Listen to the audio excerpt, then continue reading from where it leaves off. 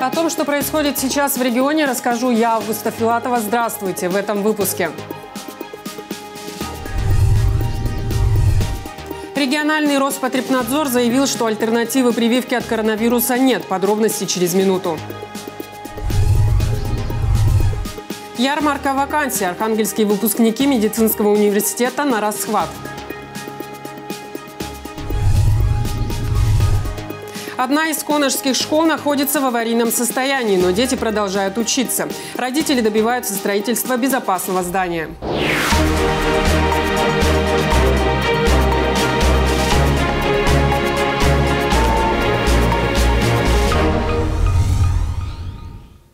Альтернативы прививки в борьбе с пандемией коронавируса нет. Такое заявление сделал региональный Роспотребнадзор. Впрочем, этого мнения придерживаются многие специалисты по всей стране. Этой теме посвятили круглый стол, организованный Общественной палатой Архангельской области.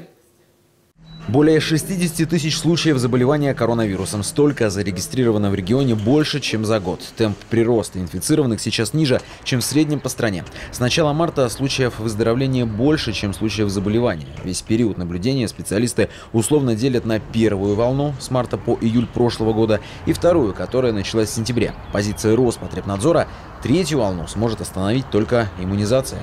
История борьбы с инфекциями другими – показала, что только массовая иммунизация населения дает эффективные и длительные меры сдерживания и контроля над развитием этих инфекционных болезней. Если вы помните, то ОСПУ таким образом удалось победить.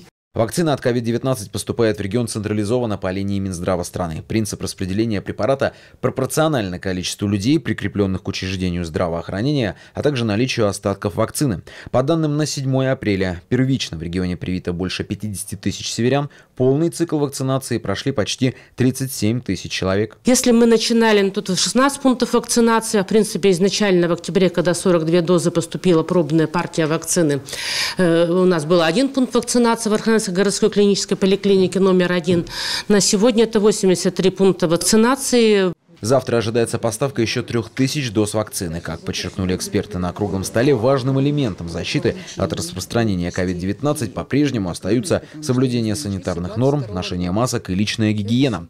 Однако общая задача – привить 60% населения. Для Архангельской области это 519 тысяч человек. Артемий Заварзин, регион 29. Участковые терапевты, онкологи, фельдшеры – вот далеко не весь список самых востребованных медицинских профессий. За каждого специалиста, выпускника Северного государственного медицинского университета конкурентная борьба между работодателями. Она развернулась на ярмарке вакансий. На ней каждый студент медицинского вуза мог познакомиться с учреждениями здравоохранения. Ярмарка вакансий словно аукцион. За каждого потенциального специалиста – борьба. Здесь несколько десятков выпускников медицинского университета. Один из них – Кирилл Цибульский, будущий терапевт. Ярмарка вакансий – это э, встреча с перспективными работодателями, которые позволят э, на данный момент, то есть сейчас, да, а, возможно, уже выбрать будущее место работы, да, для того, чтобы потом не искать, а уже сейчас договориться с работодателем, а, примерно оценить свои возможности, оценить условия, которые будут а, на будущем рабочем месте и уже выбрать свое, грубо говоря, первое место работы врачом. Кирилл готов работать не только в столице Поморья. Молодой человек рассматривает вариант переезда. И такая возможность у него есть. В ярмарке участвуют представители учреждений здравоохранения, в том числе соседних регионов. Учитывая, что вот у нас сейчас произошла эта коронавирусная катастрофа, скажем, да, у нас как бы открылось много а, вакансий, потому что доктора, они, не, некоторые не справились с такой огромной нагрузкой, те, которые планировали идти на, на пенсию, они уходили. Поэтому у нас сейчас острая необходимость специалистов именно первичного звена. Нам очень нужны врачи-терапевты, терапевты участковые, очень нужны врачи-хирурги. Кадровый голод испытывает и Котловская центральная городская больница. Сейчас ее укомплектованы специалистами чуть более 60%. Ярмарка вакансий, отмечает главный врач Котловской центральной горбольницы, хорошая возможность подобрать будущих сотрудников. Больница достаточно крупная, она интересна в плане профессионального роста выпускникам. Э, в ряде крупных в Архангельской области, а потом у нас есть там свои нюансы, которые мы пытаемся и помочь, и привязать, скажем, ординаторов к себе. Мы платим дополнительно стипендию своим ординаторам, 8 тысяч в месяц, вот, что является существенной поддержкой для молодых специалистов. В этом году в ярмарке участвовали не только работодатели, но и представители региональной власти. Александр Гештанский обратил внимание работодателей на развитие института наставничества. Прошу вас э, уделить особое внимание институту наставничества и кураторства, поскольку э, привлечь выпускника легко, а вот э, оставить и закрепить его на месте, создать для него благоприятные условия для работы и для повышения его квалификации – это крайне важно. Поэтому прошу обратить на это внимание. В этом году в ВУЗе 497 выпускников. 80 из них после окончания учебы пойдут работать по целевому договору. Один из них и наш герой Кирилл Цибульский. Без пяти минут участковый терапевт отмечает, что выбор вакансий большой. Каждый выпускник сможет найти себе подходящее место работы. Карина Заплатина, Мария Даник, Евгений Языков, Регион 29.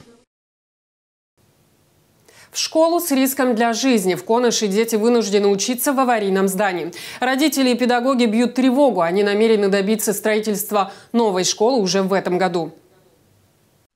Конорская школа встретила своих первых учеников в 1968 году. Сегодня она продолжает работу, несмотря на то, что в здании проваливаются полы, рушатся стены, обваливается потолок. К тому же из туалета доносится едкий запах. В 2019-м школой заинтересовался Роспотребнадзор.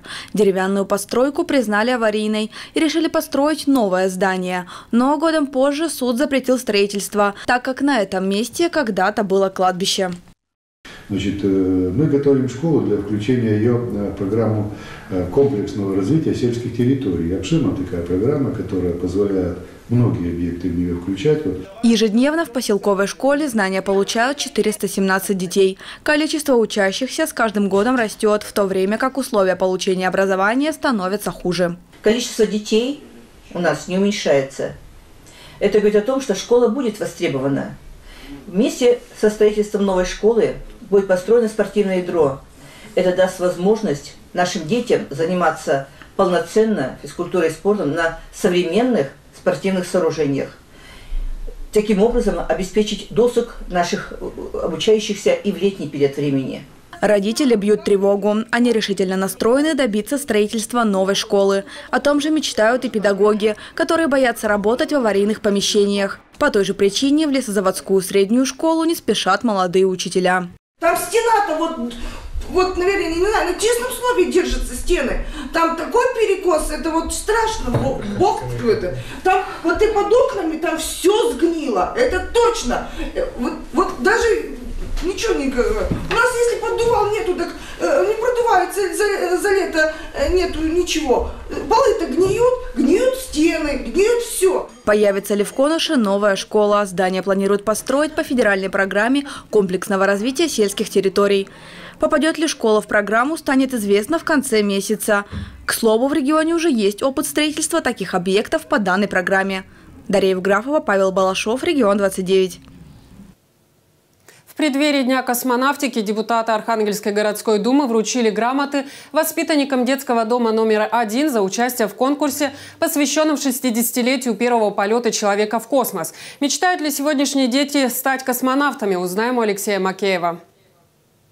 А я тоже хотела в космос полететь. Представляете, все хотели. Конечно, дети должны мечтать и рисовать, выражая в рисунках свои мысли, желания, собственное видение мира. В этих каждый постарался показать все, что знает о космосе и первом космонавте.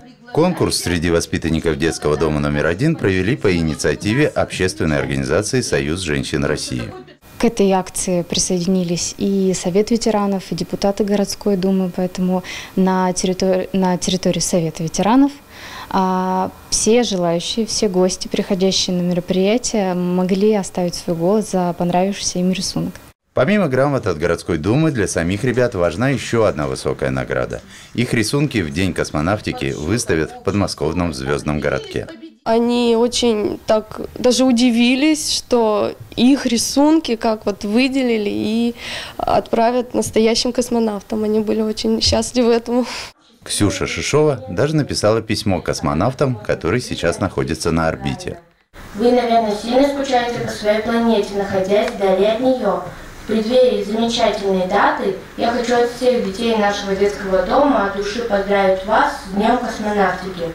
Народные избранники и представители женсовета округа Варавина-Фактория приготовили для воспитанников детского дома сладкие подарки и наборы для рисования. Дети из детских домов, они не специально находятся в детских домах, однозначно их надо поддерживать, потому что все дети – это наше будущее. А что касаемо патриотического воспитания, у нас много прославленных праздников, важных для нашей страны. Это и первый полет человека в космос, э, День Победы и много других праздников. А это значит, есть повод через такие акции сделать жизнь детей, растущих без родителей, чуть более яркой. Алексей Макеев, Александр Кузнецов, Регион 29. В Хамагорском районе закрыли лыжный сезон. Спортсмены собрались на стадионе «Лесная сказка» в Матигора. Старты прошли на призы районной газеты «Холмогорская жизнь». Для участников 8 номинаций. Самая младшая категория до 10 лет, самая старшая от 60. Раздельный старт – это вообще красиво, когда вот именно кто-то впереди бежит, и я догоняю. Очень приятно, э, что собрались как любители спорта, так и профессионалы. И мы надеемся, что э, любителей будет больше, тех, кто все-таки будет за здоровый образ жизни. Победителям грамоты, медали и, конечно, подписка на любимую газету «Холмогорская жизнь». К этому часу все. Итоги в 19.00. Не прощаюсь.